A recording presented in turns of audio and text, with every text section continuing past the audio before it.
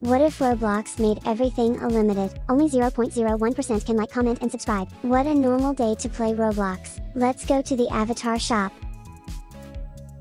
Wow so many limiteds.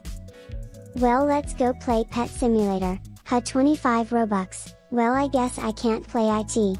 Well let's try another game. Well let's try and find a game. I'm done. Well thank god that wasn't true and was just a dream.